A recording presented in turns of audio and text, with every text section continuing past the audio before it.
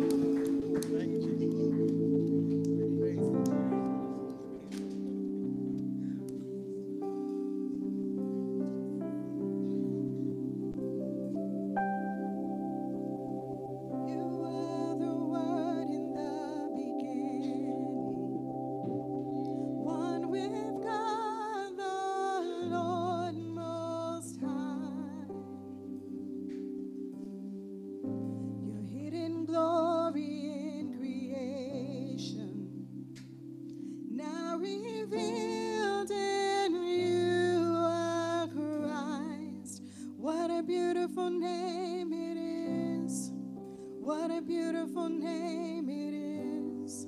The name of Jesus Christ, my King. What a beautiful name it is.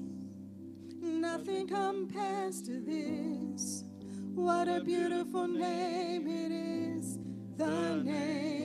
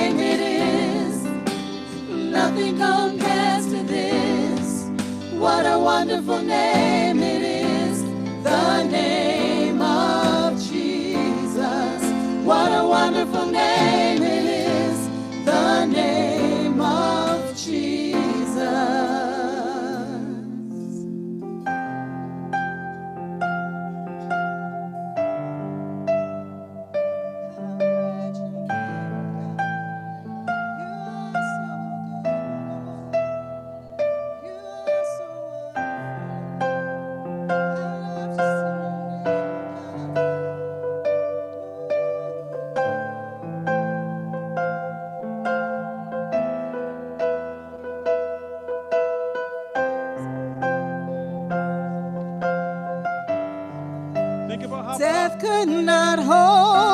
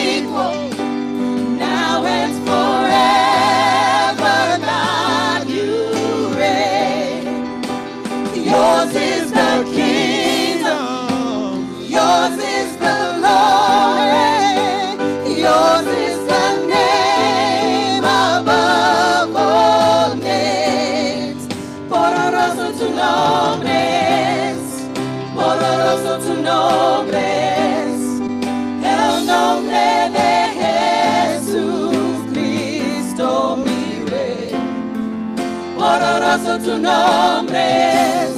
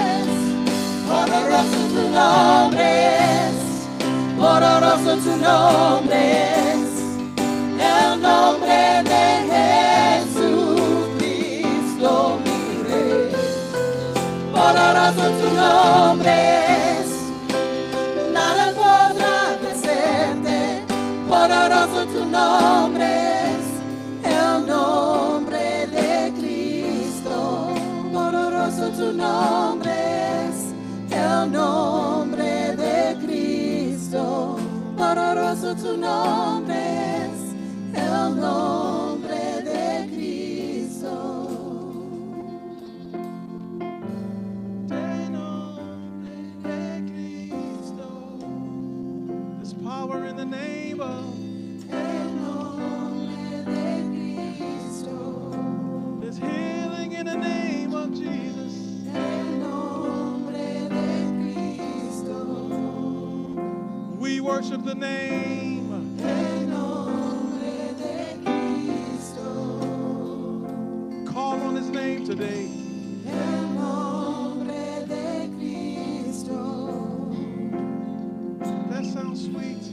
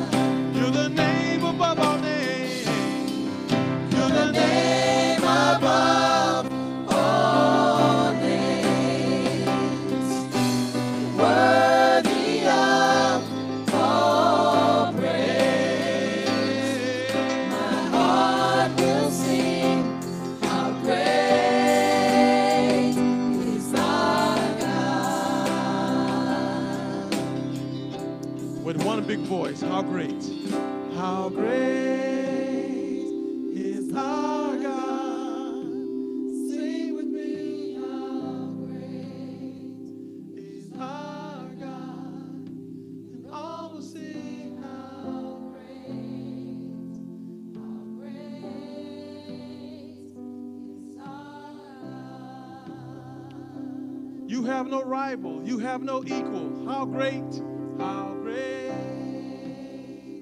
is our God. Sing with me, how great is our God. And all will see how great, how great is our God. Offer a sacrifice of praise to Jesus. How great is our God. Sing with me, how great is our God. And all will see how great, how great is our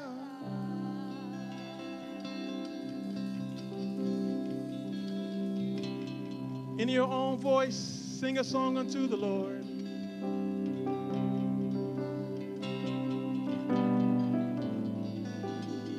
Sing to your daddy.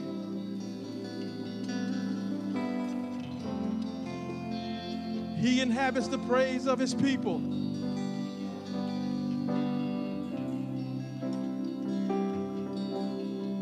Lift your voice, lift your voice.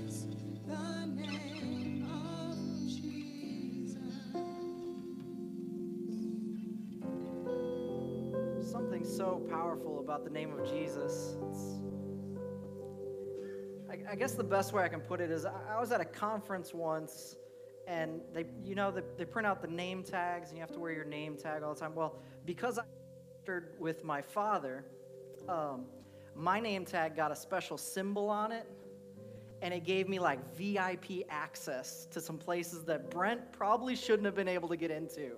But because it was on the name tag, I was able to walk into some some green rooms, some places they had food and stuff laid out, and like I got to go backstage in places that I shouldn't have been able to go, all because of what was on the name tag. And, and the reason why we sing how beautiful is the name of Jesus, how powerful is the name of Jesus, because the name of Jesus is like that all access pass that, that you can get into some places that honestly you don't even belong in. And, and you can get some stuff in your life that you don't deserve and you shouldn't even have access to. But because you walk around with that name, some doors get opened. And so we can sing and we can worship and we can get excited about even just the name of Jesus. So, sometimes we think that we, we need the whole embodiment of Jesus, but man, just the name alone can set you up for life. So why don't we just worship him? Father, thank you. Thank you. God, we worship you, we adore you, we praise your holy, holy name, God, that it opens doors that we shouldn't have access to, that it blesses us in ways that we don't deserve. Father, the name of Jesus is holy, the name of Jesus is precious, and today we celebrate you and that incredible, incredible, powerful name. And it's in Jesus' name that we say, Amen, amen, amen. Come on.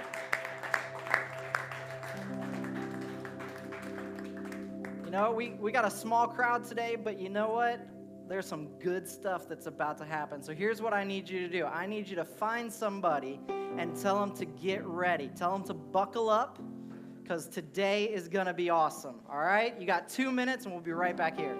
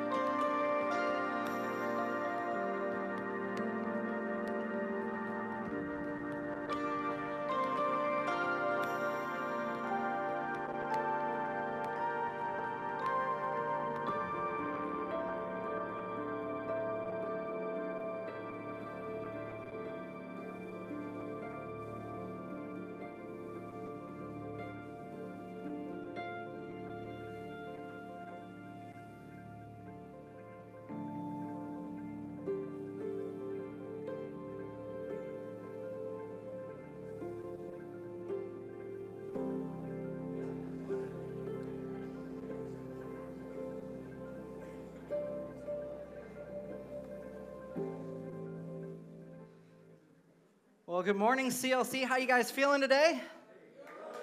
Right. Look, hey, you, you better be excited. I mean, it, it's like, what is it, 68 today or something like that? In Chicago? In February?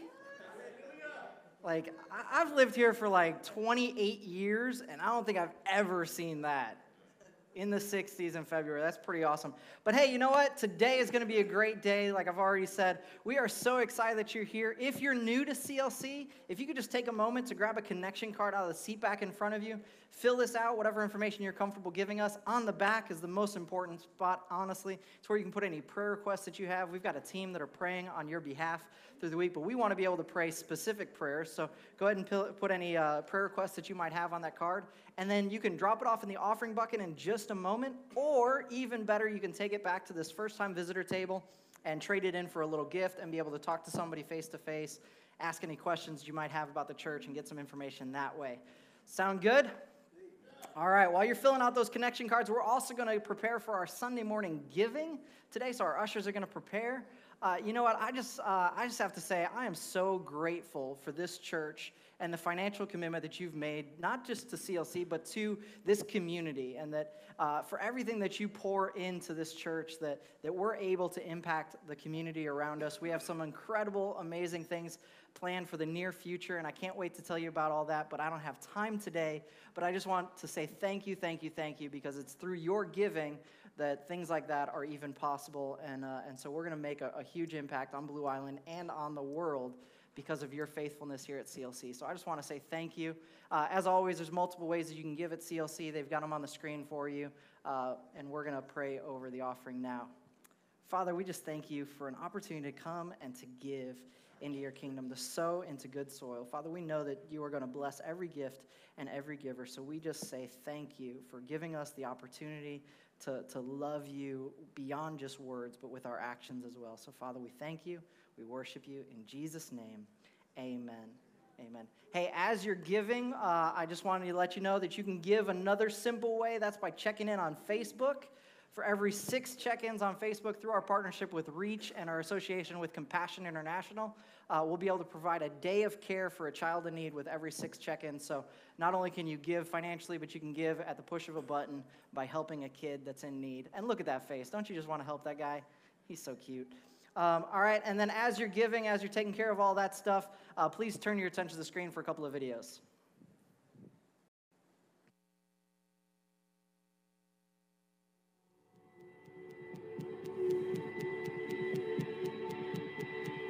Charles Spurgeon once said, When you go through a trial, the sovereignty of God is the pillow upon which you lay your head. This faith we are called to possess, it's easy to write about, talk about, and even read about.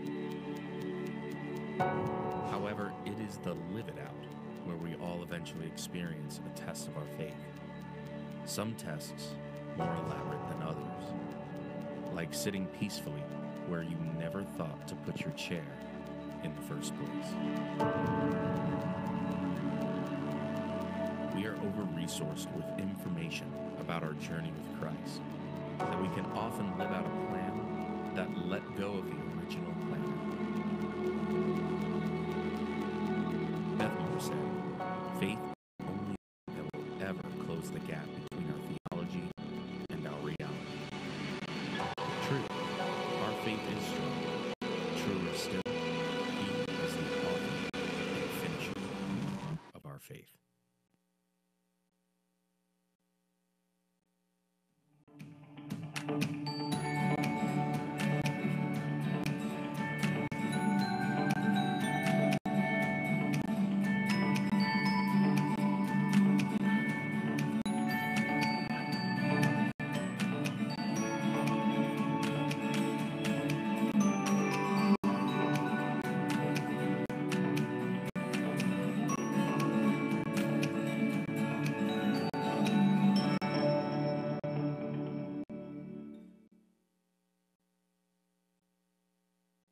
back on? There we go.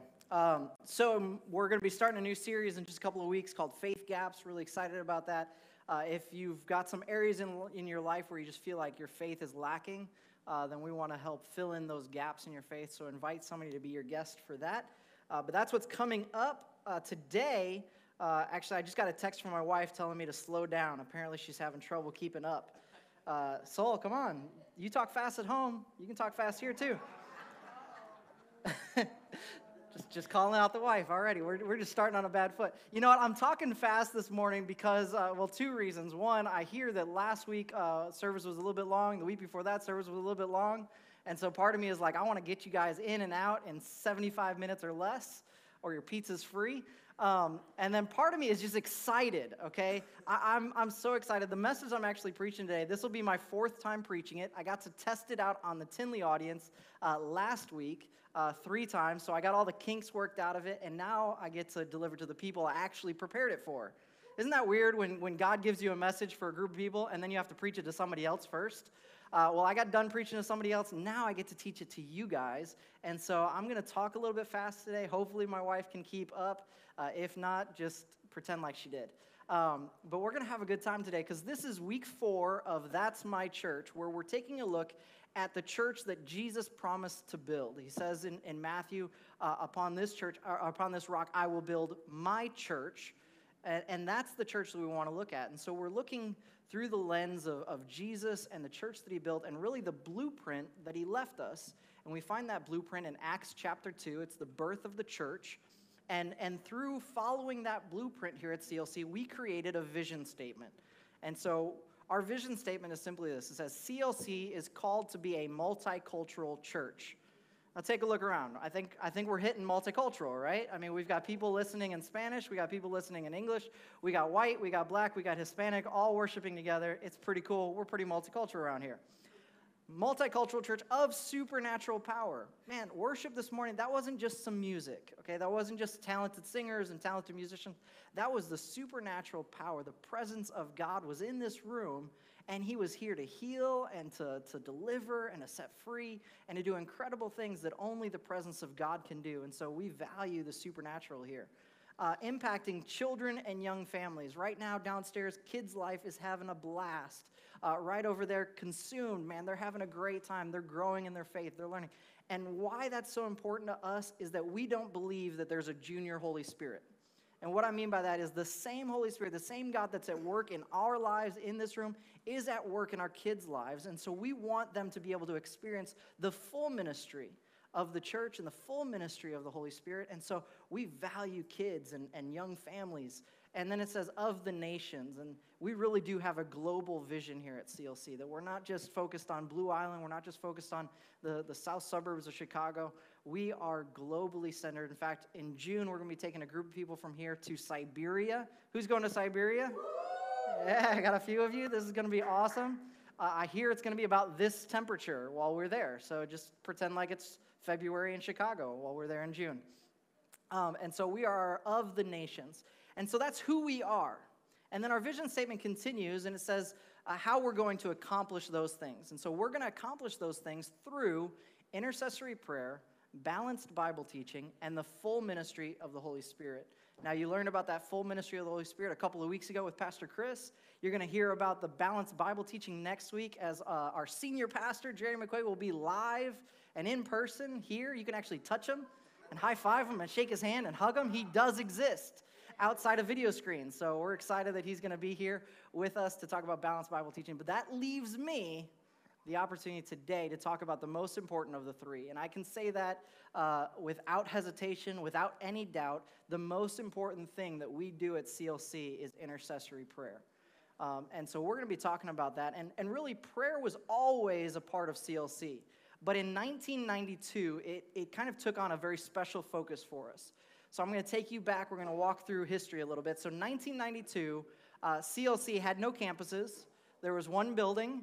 It was on the corner of 183rd and Ridgeland. Uh, it's actually the children's wing now, actually the preschool wing of the church now. If you go to Tinley for service and you drop off your preschooler, that's the building. That was the entire church back in 1992. And there was about 50 people, so probably a little bit less than we have in this room right now, gathered on a Sunday evening for service. And after the service, a missionary by the name of Johnny Garrison from Nigeria, remember, we're of the nations. So this Nigerian missionary was in the service and he was prophesying at the close of the service. Remember, supernatural power. It's just been a part of who we are. And in his prophecy, he told us that, that CLC had not chosen the corner of 183rd and Ridgeland. That, that it wasn't chosen by us, it was chosen by God before we had ever even looked at properties. And the reason why God had, cho- God had already dispatched angels to that corner to prepare the way for us. And that through the intercessory prayers of that church, those angels would then be dispatched to the four corners of the globe. Now, can you imagine if somebody came in here and told you that your prayers were going to impact the world? That'd be pretty exciting for a church of just like 50 people that would be a, a, very exciting moment. And so it was. And we grabbed hold of that prophecy and, and we began to move forward with intercessory prayer as a focus. Fast forward about 15 years later, uh, the third building for Tinley had finally been built. And uh, my dad was going up to the prayer room uh, like he always does, only he wasn't going in the morning, he was going in the afternoon. And while he was on his way to the prayer room, he heard some voices coming from the, the prayer room. And so there's a little window slit in the, in the door. And so he stopped and he peered through the window. And what he saw was a group of people just laid out on the ground, weeping and crying and crying out for the city and for the services and just crying out for God to move. And it was in that moment that the Holy Spirit spoke to my dad standing in that window. And he said, That is the secret to everything you do at CLC. That the, the, the secret sauce of Christian Life Center. It isn't the multiculturalism, which we think is great. It isn't that we're focused on kids and young families, which is great. It's not even that we value the supernatural and balanced by none of that. The secret sauce of CLC, what makes us work, is intercessory prayer. And so if if prayer, if intercessory prayer is going to be so important to the church, how many of you know that it's got to be important to the people? But I, I have a question. Will you, will you answer this honestly for me? Raise your hand if you would label yourself an intercessor. One, two, three, four, five, six, seven, eight, nine, ten. Okay, 10 people in the room. So your percentages are about double Tinley. So good job. Uh, you're doing a lot better than them. Um, but here's the problem That's about a fifth of the room, uh, actually, a little bit less. If the church is going to be something, we've all got to be that thing. You know, if, if, if 5% or 10% of the church is all about multiculturalism, guess what? We're not going to be very multicultural, right? If, if like 5 to 10% of the church is like, you know what, I love kids, and 90% of the church is like, get those kids out of here, uh, then we've got a problem. And, and, and, I don't know if you've ever realized this or not, but um, the church can't pray. And, and, what I mean by that is this building doesn't know how to pray. Like the brick and the stone and the wood, it can't pray. I've tried to get it to pray, and instead the ceiling leaked and the heat went out on us. And so I stopped trying to get the building to pray. Uh, I got to get the people to pray because uh, every single one of us, we are intercessors. We are called to intercessory prayer. But I get why you didn't want to raise your hand uh, because eight year old Brent um, had some really negative thoughts of what intercessory prayer was. And, and really, and I don't want to offend anybody in the room, especially those that raised your hand earlier, eight year old Brent had some issues with intercessors. Okay, and, and the reason for that is when I was eight years old, I got a prophetic word, and it was, it was awesome. Like, it was one of those where, like, eight year old Brent was starting to get an ego uh, because of this prophetic word. I mean, the, the, the, guy prophesying over me was talking about how I was going to travel the world and I was going to heal the sick and, and I was going to raise the dead. And, and eight year old Brent was like, zombies, woohoo, this is awesome. Uh, eight year old Brent was really confused about prophecy and about what was going on. But, uh, you know, have you ever had a prophetic word that you're like, yes, yes, yes, and then something comes out of their mouth and you're like, no. And anybody else been there? It's just me. So I was there and I was like, yes, this is awesome. Yes, this is awesome. And he said, and you are going to be an intercessor and you're going to be on your face before God crying out for the people. And I was like, time out? Can I get a do over? Like, anybody want to trade prophetic words? Because um, eight year old Brent had a, uh, had a great concept of missions and going and traveling and seeing the world. Eight year old Brent loved that idea. But eight year old Brent had seen intercessors at work. And, and, my viewpoint of intercessors at eight years old really didn't change for probably another 20 years. Because what I saw of what an intercessor was was what the church kind of labeled or mislabeled something. See, I don't know when it happened, but at some point, the church, and I don't mean Christian Lifestyle, I mean the church, like hundreds of years ago, at some point, they took this idea of what everybody was supposed to do and they put it into a little box and we gave it to a few people and said, Here, you guys go do this. And the problem that I had at eight years old is that the people that they chose were kind of weird. Like, can I just be honest? Like, as eight year old Brent, like, like, how many of you know you never ask an intercessor to pray for the food? Because one, the food's gonna be cold by the time you actually eat, right? Because intercessors, they just pray too long and they use words that nobody, they use the King James and intercession. Like you're going to have to open your eyes halfway through and say, This is chicken, right? Like we're eating chicken. Can you just bless the chicken and can we move on? Um, but that's the mindset that I had. And you're laughing because you've had that same thought that intercessors love to pray for a really long time and they use fancy words that nobody even understands. But the, the problem is that we, we took what everybody was supposed to be doing, we gave it to a, a small group of sometimes very weird people that weren't very good socializing. And so we said, okay, you're not going to be on the outreach team because you can't talk to people, but you're going to be on the prayer team because then you just talk to God and we don't have to deal with you. Um, and then to make it even worse, for some reason, and I, and I hope I'm not offending, and I probably am, but just know my heart. Um, for some reason, that group that we gave it to was female and elderly. It, you, you don't see young men on the intercessory team because it, it's typically not something that is handed to. In fact, one of our pastors on staff, his father was the head of their intercessory team, uh, and they actually removed him because the intercessory team was all women and they didn't like being led by a man. And so they actually chased out the only guy that wanted to pray.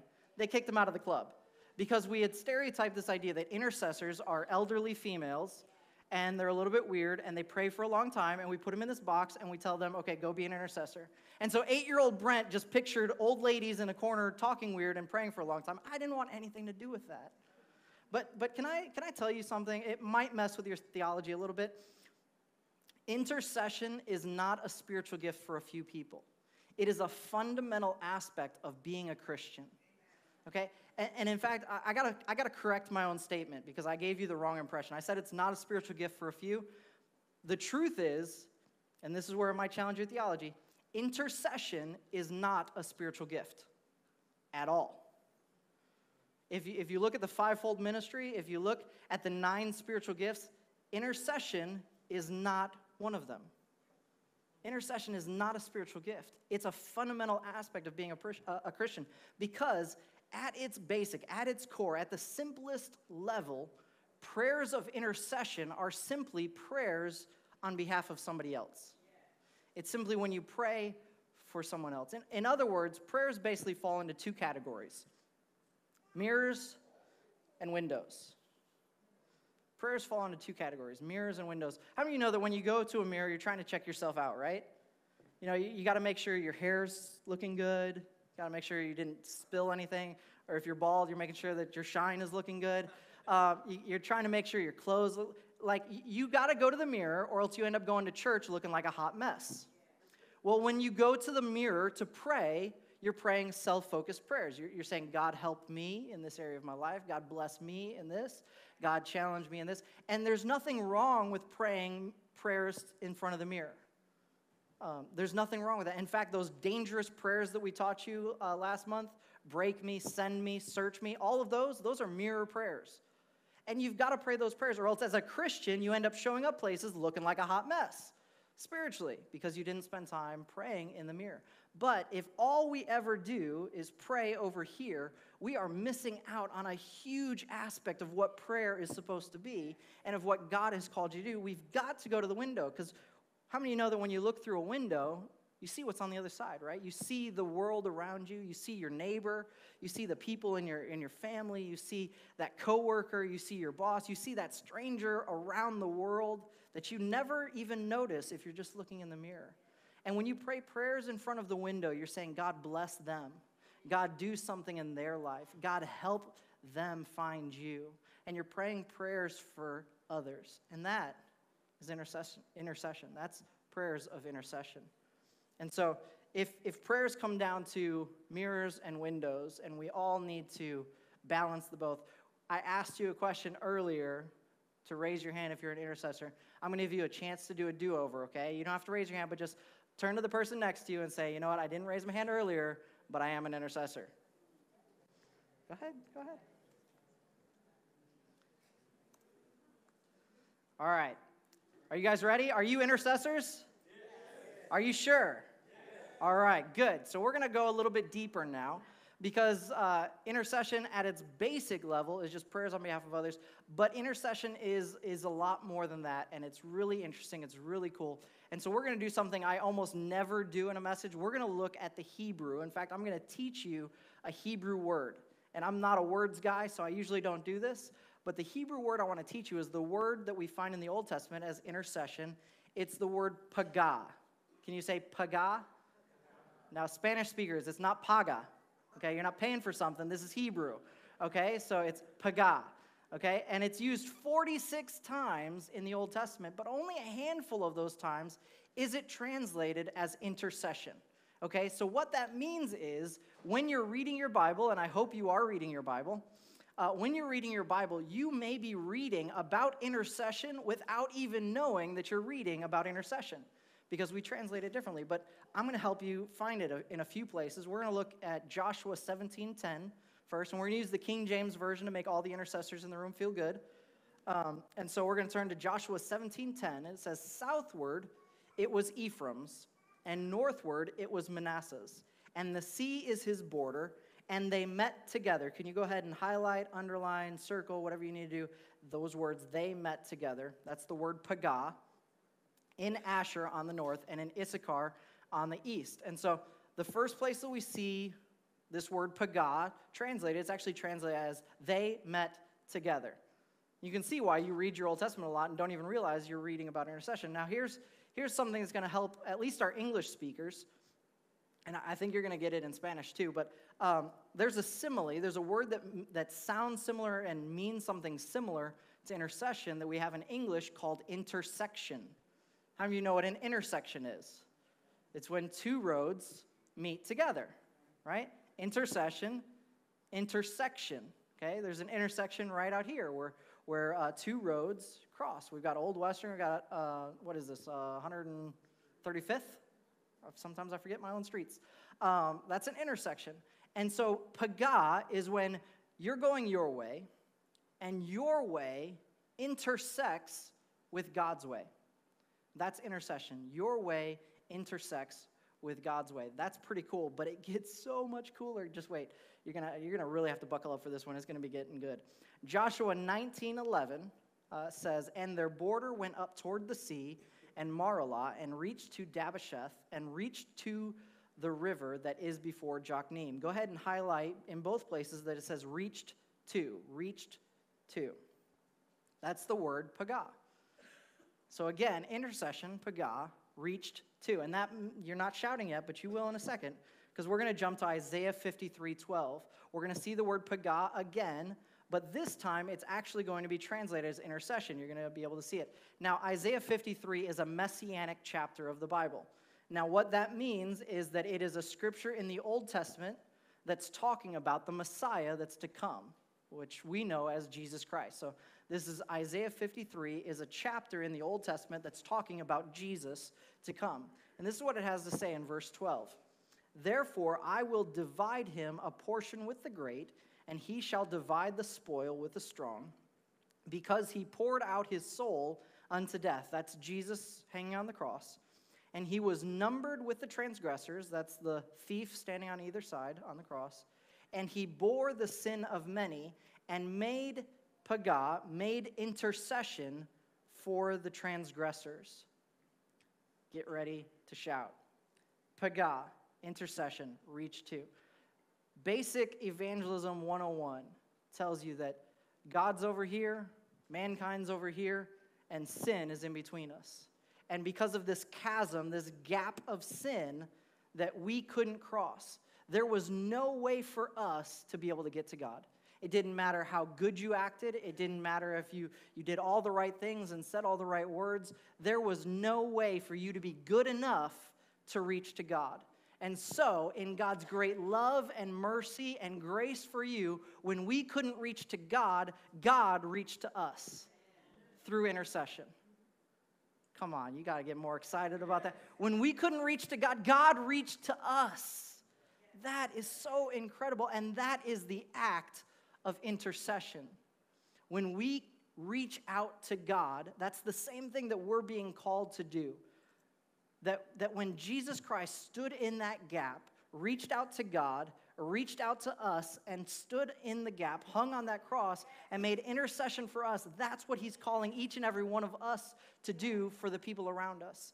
That there's times when what's happening in heaven, you know, we pray the prayer, uh, Thy will be done on earth as it is in heaven. And the reason why we pray that prayer is because sometimes there's a difference between what's happening in heaven and what's happening on earth, right? How many of you have read scriptures in the Bible that make some promises about your life and you're like, God, I see that you're saying you're going to prosper me, but my life is anything but prosperous.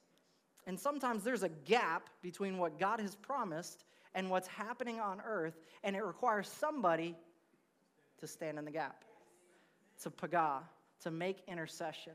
And so there are times when we have to stand in that gap and reach out to God and reach out to that thing and pray prayers of intercession until those two things intersect. And that's intercession. That's exactly what you're called to do, to stand in the gap. And the thing is that God is looking for people that will do just that who will stand in that gap. Ezekiel 22 and 30 is actually one of the saddest scriptures in the Bible. It says, I looked in vain for anyone who would build again the wall of righteousness that guards the land. Who could stand in the gap and defend you from my just attacks? But I found no one. And, and, and that's, that is the saddest thing you can read in Scripture that God is looking for somebody that will simply stand there will just stand in the gap on behalf of somebody else. And yet he couldn't find anybody. I don't want him to ever say that about our church. I don't want him to ever say that about Blue Island, that, that, that God has something that he wants to do in Blue Island, and he just needs somebody to stand in the gap, and he couldn't find anybody. See, John Wesley said, God will do nothing but an answer to prayer. And, the, the, the, the interesting thing about this quote, God will do nothing but an answer to prayer, it's not because God can't. It's not because God is somehow limited in his power and he can't work his magic unless he works it with us. No, it's simply because that's the system that God put in place. Because he loves you so much. God just wants to have relationship with us. He wants to, to, to work with, he just desires to work with us, to partner with us. And so the system he put in place is I will do if you will ask. In fact, it's not just a cool quote, it's actually scriptural. Ezekiel 36, 37, if you just jump a few chapters later from where we just were, it says, The Lord God says, I am ready to hear Israel's prayers for these blessings. See, in, in this chapter of Ezekiel, God is making promises to the nation of Israel. He's promising to bless them in incredible ways. And now he's saying, I'm ready. I'm ready to hear Israel's prayers for these blessings, these things that I've already promised you. I'm ready to hear your prayers and to grant them their requests. And then four words let them but ask. Let them but ask. That's the gap that we talked about, that there's a gap between God's promises in Scripture, what He's declared over your life, what He's already promised He's going to do, and then there's a gap, and then there's you in the real world, and you're like, but that doesn't match this. And I've got a problem because that doesn't match where I'm at. And what it requires is somebody to stand in the gap, to pray that prayer and say, God, I'm going to reach out to you and the promise that you've made, and I'm going to reach out to the situation. I'm going to pray a prayer of intercession until there's an intersection. And I'm passionate about this idea of intercession because I couldn't stand here today. I wouldn't be able to stand here today and preach to you this message if it wasn't for the fact of intercession. And I don't mean that figuratively, I mean it literally. When my mother was about six months pregnant with moi, uh, she had preeclampsia. Uh, and the doctors basically said if your numbers don't regulate within the next few hours, we are going to have to take the baby because it's either that, it's either your baby dies or you both die. That was the options. And so my grandmother got some people together and went and prayed prayers of intercession. And they stood in the gap for baby Brent. When baby Brent couldn't pray, they stood in the gap and they reached out to the promises of God and they reached out to baby Brent and they prayed until there was an intersection. And hello, here I am. It worked. Baby lived. Yeah, that's cool. And you know what? The reason why I love stories like that is because everybody's got one. Everybody's got one. You, you may not even realize that you've got one, but you do. Uh, a friend of mine was just in a horrible car accident and got out and walked away perfectly fine. The car looked completely destroyed. I mean, where she had been sitting looked caved in. There was no reason why she should have been able to walk away from that car accident. And I've got a lot of friends that have had the same stories. Pastor Ben once drove through a tree. The tree disappeared and then reappeared, and you can see the tire tracks leading up to the tree and continuing past the tree, and yet he didn't hit the tree.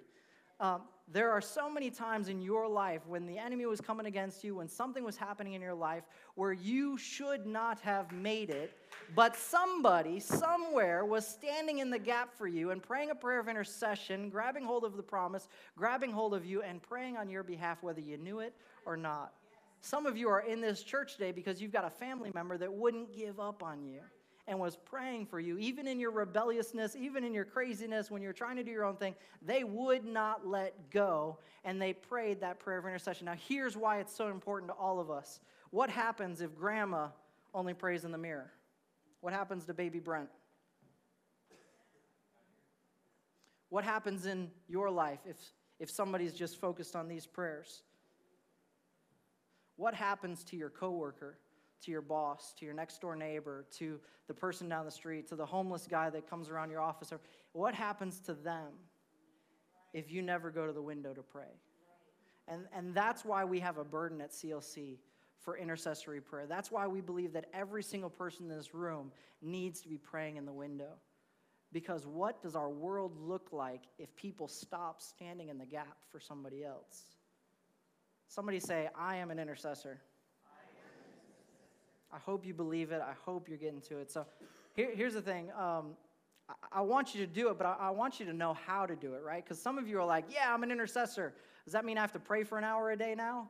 Um, no, it doesn't. See, uh, Max Lucado, I love, love what he had to say about this. He said, Our prayers may be awkward, our attempts may be feeble, But since the power of prayer is in the one who hears it and not in the one who says it, our prayers do make a difference. So, intercession, it isn't about the length of your prayers. Okay? In fact, intercessory prayer can be as simple as three words God, help them. That's a prayer of intercession. Now, I hope that you develop spiritually enough that you can use more than just those three words, but that's a starting point for you, okay?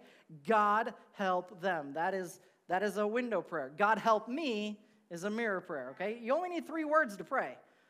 Okay, and it's not about the fanciness of the words. You don't have to come with our fathers and, and the old King James. You just come and use the language that you use every day. And all you do in the act of intercession is what we've demonstrated here already is you reach out to God and his promise and what's going on in heaven, and you reach out to that situation, that person, or that circumstance, or that thing in your life, and you pray a prayer to bring them together, to make intersection. I'm going to demonstrate a prayer of intercession for you now, okay? This is I, I just feel like I, I need to. And so we're going to pray a prayer of intercession. So the first thing you do is you grab hold of God. We do that in prayer by honoring God. So we say, Heavenly Father, I, love you so much. You are so incredible. You are so amazing in my life. God, I couldn't be here today if you hadn't first made a way. Father, thank you for sending your son, Jesus Christ, to stand in the gap for me. God, thank you for making a way for me when there was no way. And you grab hold of God by honoring him. And then you grab hold of that situation. Father God, I come to you today on behalf of my brother. God, he is so far from you that it hurts and, and we don't know what to do anymore. We've, we've tried everything we can try. We've, we, we've prayed and we've talked and we just, we've got nothing left. And so, God, right now, we just put him in your hands. God, that right now, even as we pray, that, that you would send angels and you would send people to go into his life that would remind him of his great need for you. God, I pray that whatever it takes, whatever you have to do in his life, that you would begin to remind him of your greatness and of your, your mercy and of his great need for you. In Jesus' name, amen. That's a prayer of intercession. You just grab hold of God, you grab hold of that thing, and you pray to bring them together. And it took me, what, 30 seconds? 60 seconds. Uh, intercession is not this long, drawn out thing where you're just going through this list. It is simply grabbing hold of God and grabbing hold of reaching out to God, reaching out to that situation and praying till they intersect. That is a prayer of intercession. So, who are you praying prayers of intercession for? Uh, we've got a, a, new prayer focus sheet. We're going to have one of these every month. It'll be the same all the weeks of the month, but uh, the, uh, for every brand new month, you'll have one of these. If you didn't grab one, you can grab one on your way out. Uh, yours is hole punched uh, so that you can put it right in your binder. Hopefully, you have your sermon binder with you. Um, this is going to be a great tool to get us all praying, but here's why I wanted you to pull it out now. On here, I've got a list for you of 10 people that you should be interceding for uh, this week or this month. Uh, and these are all based on Scripture. And I don't have time to go through all of these, but I want to highlight a couple of them for you. Uh, the first one says, All those in authority and that's coming straight from 1 Timothy 2 2. And I apologize that this is going to get a little bit political, but not really. Um, here's the thing I know some people in my life that they prayed for Clinton, and, and they prayed for Bush, and then they prayed for Obama, and now they've gotten to this place where they won't bend their knee and pray for Trump. And I don't care who you voted for. Uh, I don't care if you think he's the biggest idiot in the world, because he may be. It, it's true, he may be. My issue is that if you're a Christian and you have not yet prayed for your president, you are disrespecting the Bible and the Word of God. And, and you, can, you can sport the not my president hashtag on Facebook all you want. I don't care. I'm not political. I don't care at all. But as a Christian, you better be praying for him the, I, I, saw something a, a, few weeks ago that I thought was just so clever. Wanting your president to fail is like wanting the pilot who's flying the plane to crash. You're on the plane, okay? So pray for your president, all right? Soapbox moment over. And I'm not supporting Trump, I'm just saying you got to pray for him, whether you voted for him or not, because it's biblical. The last one I want to highlight for you is number 10 I love when the Bible does this because as Christians, as human beings, we always look for loopholes, right? Like, I mean, the, the moment I tell you to, to pray for people, you're starting to think through your head, like, which people you don't have to. Like, you're trying to check the list, like, right now to make sure, okay, it doesn't say boss, technically. I mean, he is my authority, but eh, Or, you know, my, my sister, who's just a real pain in my neck, she's not on the list. I don't have to pray for her. Well, here's the thing the Bible knew that you were going to do that, partially because uh, a guy tried to do that to Jesus. We talked about this a while ago with the Who's My Neighbor? You know, he said, Love your neighbor. And the guy's like, But who's my neighbor? Because I don't want to be loving on that guy. Um, and Jesus was like, Well, yeah. Um, and so the Bible does the same thing for us. Number 10, in 1 Timothy 2 1, it says to pray for all men. Now, you just heard an inclusive message from Pastor Ben last week. That's an inclusive statement. That doesn't just mean pray for the boys, that is all men or all mankind. That means men and women. So basically, what it's saying is if that person is a human being, you should be praying for them, okay? Just for clarity's sake, all right? And here's the thing if you look through this list, you'll notice enemies is on there, those who persecute you, those who forsake you. The person that you need to be praying for the most is probably the person you want to pray for the least. Some of you are still hung up on that whole Trump thing, and you're like, I can't do that. Well, it's on there twice, okay? All in authority and all men. And if he's persecuting you or forsaking you, then he's in there too. The person you got to pray for the most is probably the person you want to pray for the least. But but it's not always going to be easy. It's not always going to be the thing that you want to do, but you can do it. You know why you can do it? Because you're an intercessor, right? I, I think, you're, I think you're getting it. Are you an intercessor? Awesome. All right, we're going to close in just a second, but anytime I talk about prayer, I, I feel this, this burden, this need to explain one more thing, and that's what I'm giving you today when we talk about prayer, it's not a magic wand.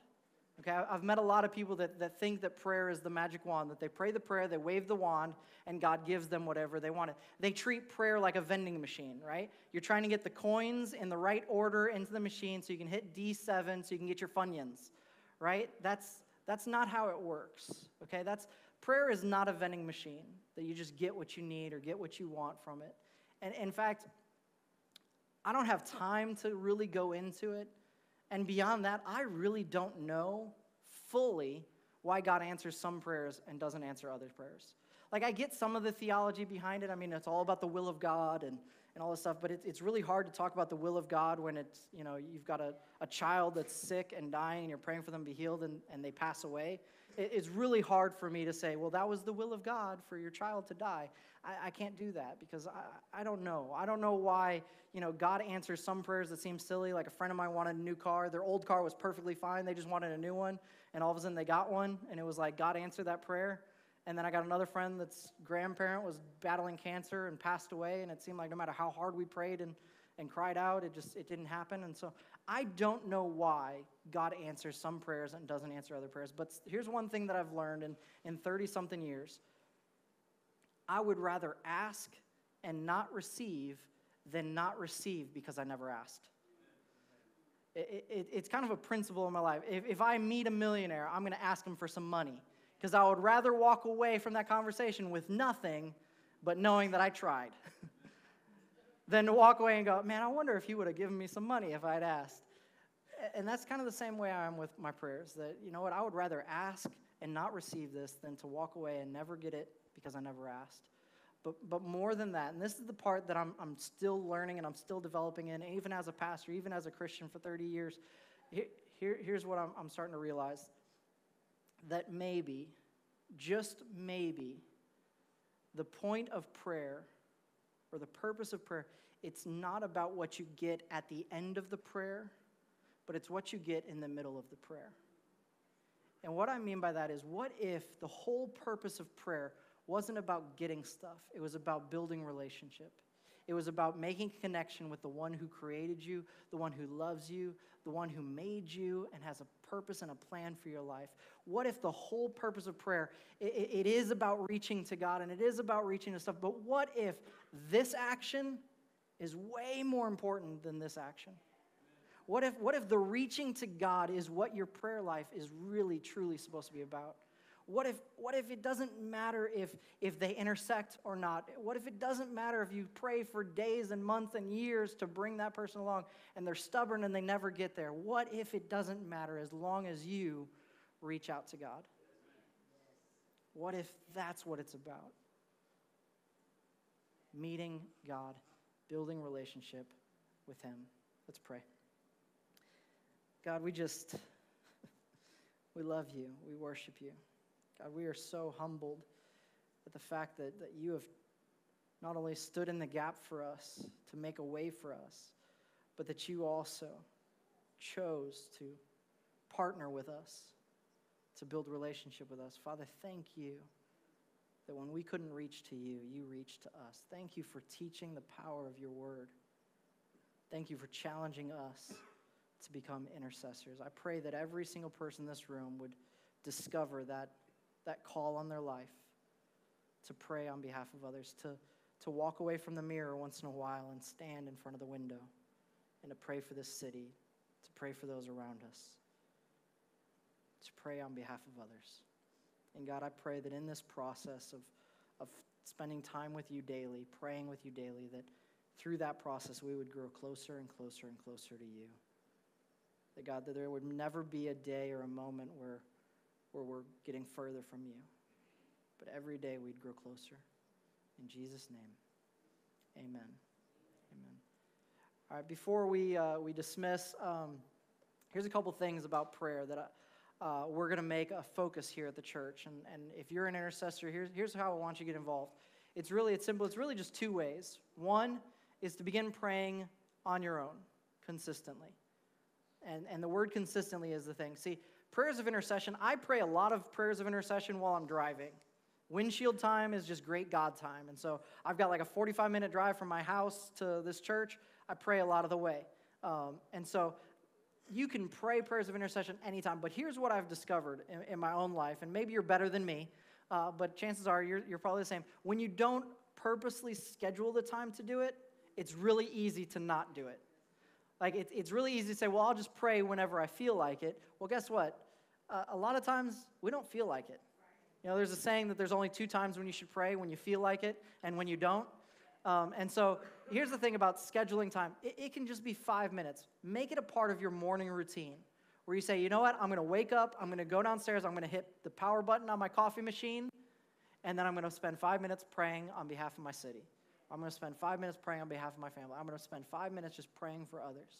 But make it a daily routine. And yeah, you can still do extra prayers when you're driving or when you're on the train or when you're just walking around or when God speaks to you. Yeah, but schedule a time every day where you're saying, you know what? I'm going to pray. Can you guys do that? Okay, that's your first challenge. Second challenge is to, oh, and you can use this prayer thing to uh, help you with that every month. That's why we gave it to you. Uh, the second thing is to pray with us. And we got a couple of ways that that's going to happen. Starting in March, we're really excited about this. Starting in March, every Friday at 7 o'clock, we're going to have corporate prayer right here. Yeah, Tara Lynn's excited about it. so, corporate prayer, for those of you that don't know that terminology, corporate prayer is just simply when a group of people come together to pray. Um, and so, we're going to be praying together in here from 7 o'clock to 8 o'clock. Uh, it'll, it'll be uh, filled with some worship time and some Bible reading time and, and just some time of prayer. We're going to do that every single uh, week on Fridays at 7 o'clock. You can join us when you're available. You don't have to come every week. We're not going to be taking attendance and calling you at home saying, hey, you haven't been praying. Uh, but we really encourage you to come and join us for prayer on Fridays. And every once in a while, we're going to let you know in advance, but we'll have a very special prayer night. Maybe we'll have a guest speaker come in and do a teaching. Maybe we'll have some live worship. We've got some worship leaders all over the, the, the state that we can bring in for things like this. And so uh, just be ready for those special prayer nights, but I hope that you'll join us every Friday starting in March. So I believe it's March 3rd will be our very first time. Friday night at 7 o'clock. Uh, if you can't do that one, uh, here's the other thing that you can do to join us in prayer. Uh, right back here over the next couple of weeks, you're going to see a little transformation happening in that little alcove where the I Am for Blue Island uh, banner is. Uh, we're going to be turning that area into a, uh, a prayer wall. I was going to call it a prayer room, but there's only three walls, so it's not really a room. Uh, but uh, so the, the wall is going to have an opportunity, a place for you to put prayer requests. And then there's going to be some ministry team members that are going to be standing there during service that are going to be able to pray for you during worship. And so uh, at some of our other campuses, we do that up here at the front because of the size of our stage and, and the awkwardness of that here. Instead, we're going to do it right back there. But anytime during service, if you need prayer or you just want to write down a prayer request, you can go put a prayer request on the wall or you can have somebody pray with you.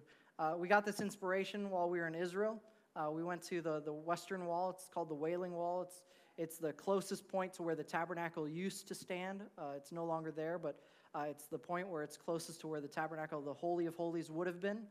And so uh, every day, all day long, there are Jews that are standing at that wall and praying, and they, they tuck prayer requests into that wall. And it was amazing going and praying, and, and not just laying my hands and praying on the wall, but being able to lay my hands on little notes and little prayer requests, and knowing that I was praying for people that I'd never met, that I didn't know, that maybe lived somewhere far away, or maybe were right there in Jerusalem. It was just an incredible moment. We decided, you know what? We need to create that moment, that opportunity for people in Blue Island. So we're creating our prayer wall where you can drop off your prayer requests, and then you can also get directly from that. Cool? All right, last thing I'm going to ask you to do. We did at the very beginning. If you are an intercessor, would you go ahead and raise your hand? I like it. That's awesome. I like it. Some of you, your hand shot up so fast. I love it. That's beautiful. You know what? Uh, this is going to be a praying church, and we're going to do some incredible things in the kingdom of God because the foundation of who we are is through prayer. Amen. Uh, a couple of quick announcements for you before I pray the blessing. Uh, you can grab an entwine card out of the seat back in front of you. If somebody in your life is getting married uh, or engaged or seriously dating, they have their schedule. Uh, the next one is going to be uh, April 4th. Will be the next uh, the next scheduled time for that. So if you got someone in your life looking for pre-marriage counseling or classes, then they can grab that. We're a little late on you guys, but we'll figure something out. Um, and then uh, the last thing in the marriage retreat, you can still sign up for that. You can get information down in the lobby for Get Naked. Uh, I'll be there with my clothes on. So uh, I, hope you'll join us for Get Naked uh, Marriage Weekend. Uh, it's going to be Friday, March 24th through Sunday, March 26th. I'll be back here for Sunday service, but you can stay there if you want. Don't, don't stay there. Come back to church. All right. Are you guys ready for the blessing? All right, why don't you go ahead and stand up? Now may the Lord bless you and keep you. May his face shine upon you and be gracious unto you. May he lift up his countenance upon you and give you peace. In Jesus' name, amen. Amen. I love you guys. I can't wait to start praying. See you soon.